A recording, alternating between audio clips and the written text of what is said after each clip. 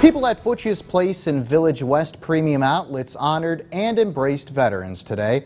They held a fundraiser meal for disabled and homeless veterans showing appreciation for their service. One of the goals for the owner is to help find a home and furniture for these veterans. So we have to raise our funds through public donation. So in order to buy mattresses, in order to buy uh, food and things that we take for granted every day, we need to do this. We need to support our homeless veterans.